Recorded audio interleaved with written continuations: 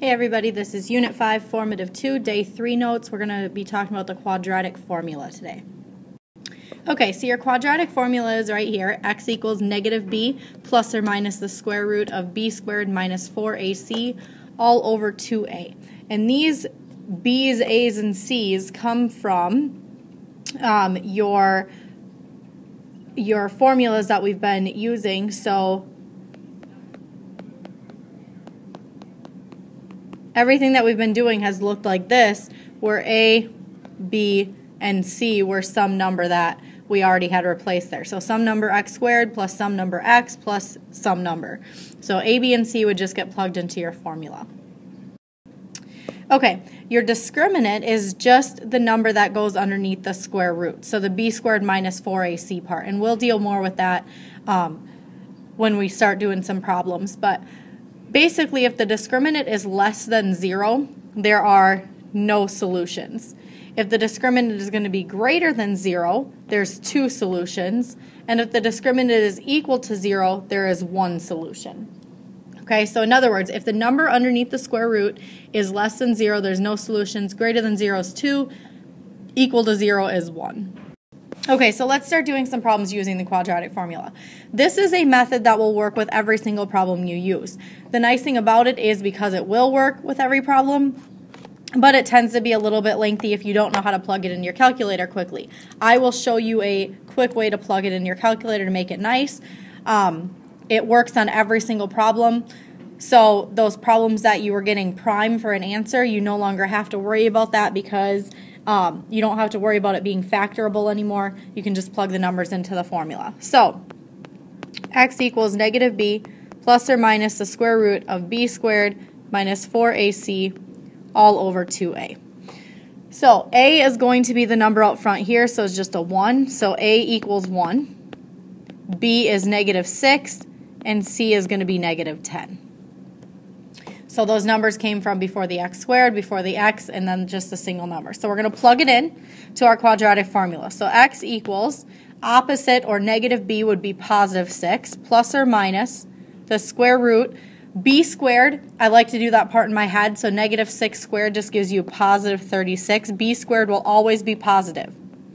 Minus 4 parentheses a is 1 and c is negative 10. So every single time, please write it out to look like this, all divided by 2a. So 2 times 1 gives you 2. Okay, so again, I did a couple things in my head there. I took the negative 6 squared. So right here, I took the b squared. I did that part in my head. I took negative 6 squared to give me 36. I also took 2 times a, so 2 times 1 to give me a 2 right here. Okay, so now you're going to simplify just underneath the square root. So in your calculators, you would type in this 36 minus 4 parentheses, 1 parentheses, parentheses, negative 10, parentheses, and then you would hit enter.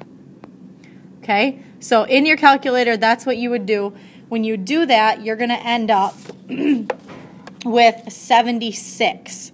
Okay, so now I'm going to rewrite this as 6 plus or minus the square root of 76 all over 2. Okay, so now I'm going to start plugging in my calculator again, and I'm going to end up with my two answers. Because from here, you can plug it in your calculator to get your answers. You're going to say 6 plus, and then you're going to hit a second key, and then you're going to hit the square root key. Okay, or in other words, it's x squared key. It's actually the x squared key on your calculator. You're going to hit second and then the x squared key. And then you're going to type in 76 and then you're going to hit enter. And then you're going to divide by 2. Okay, so 6 plus second key, square root key, and then you're going to hit 76, enter, divide by 2, and then enter again. And you're going to get 7.36 is your answer. Okay, you're going to do the same thing now, except this time you're going to change that minus sign to a plus or a plus sign to a minus sign in your calculator. And now it's going to get when you do that, you're going to get negative 1.36 is your answer. And those would be your two answers. So you no longer have whole numbers like we're used to. It's all about being able to plug in your calculator, which I will show you again in class. But um, your main idea for this video is being able to set it up. Okay? We'll worry about calculating it in. All right, so here we have um, another problem. We're going to say A is 3, B is negative 5, and C is negative 9. By this point, you should have the quadratic formula written down in your notes, so I'm not going to rewrite it on this slide. We're just going to plug it in. So x equals opposite b, which is 5, plus or minus the square root. Okay, b squared, so negative 5 squared would be 25, minus 4 times a times c. Remember, the 4 is part of the equation, so don't think that I'm getting that from any, or part of the quadratic formula. Don't think I'm getting that from anywhere right here. Okay, so the 4 right here is part of the quadratic formula. All divided by 2 times a, which is going to be 6. Okay, let's figure out what goes under the square root. So again, in your calculator, you're going to type in 25 minus 4 parentheses 3 parentheses negative 9 parentheses, just like you see it. So all we're doing is figuring out what goes under the square root here. So I can rewrite 5 plus or minus square root all over 6. And I'm just going to figure out what goes underneath there. And when you do that, you're going to end up getting 133. Okay, for this problem, we can actually talk about the discriminant now. The discriminant in this case would be 133.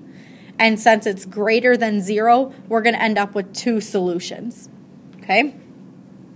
All right, so we're going to finish this problem type it in your calculator. We're going to take 5 plus second key, square root key, 133, divided by, or enter, and then divided by 6, and you're going to end up with 2.76 is one answer. Do the same thing except minus the next time, and you're going to get negative 1.09. Okay, so again, I will show you how to type it in your calculator more in class. Worry about setting it up right now. And you should be able to get to the point where you figure out what this number here is. Okay? All right, and our last one here that we're going to do. First, we want to get it in standard form, so make it equal to 0. So that means we have to add the 11 over. So we get 2x squared minus 18x plus 11 equals 0. A is negative 2, B is negative 18, and C is 11. So x equals opposite of b, so 18 plus or minus the square root.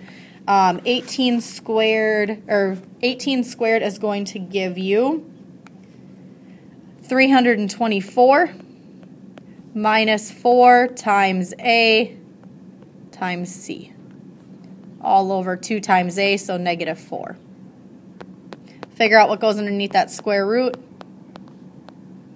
And you're going to end up with 412 all over negative 4 Make sure you are typing in all the correct signs. So when you type that in your calculator, make sure you don't forget the minus 4 and the negative 2 when you type to figure out what the discriminant is here. Okay, again, discriminant is greater than 0, 412.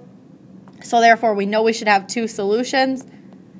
So we're going to get x equals and x equals. We should end up with 0.57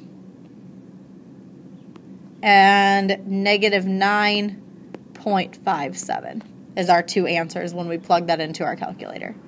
Okay, if you guys have a calculator at home, great. You guys can practice solving these right now. Just hit replay the video and see if you can end up with the same answers I got. If you can, great.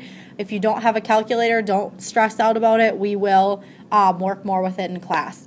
All right, make sure you guys took notes, get these written down. We will see you later.